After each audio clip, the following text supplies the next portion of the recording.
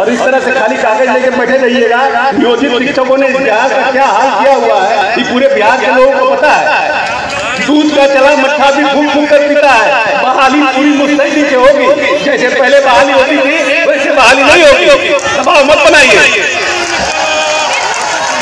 आज के इस एसपी सिंह साहब मंच पर उपस्थित।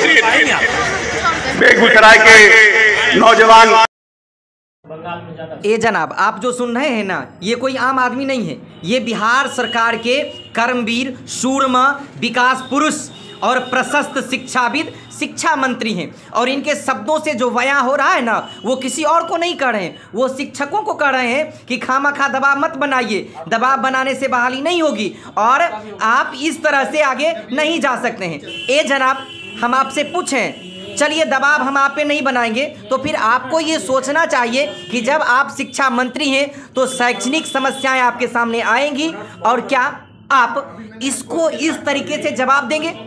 क्या आप शिक्षकों को ऐसे समझाएँगे? या फिर क्या आपके सामने क्या व्यवस्था है कि आप मंच पर बोलते बोलते खंजुलाना शुरू किए?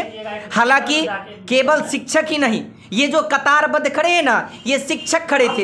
ये ये बात कहने के लिए खड़े थे कि आप हमारी मांगों को सुनिए। लेकिन मैं बताऊँ एक जमाने की वो कहावत थी कि तनी ताको न बलमुआ हमार ओडिया वही कहानी यहाँ सिद्ध हो रही है क्योंकि नेताजी को तो अब सुरक्षा है गार्ड है और सब कुछ चरितार्थ है। मेरा प्रश्न एक बार फिर है कि क्या बिहार में ये सुशासन की सरकार है?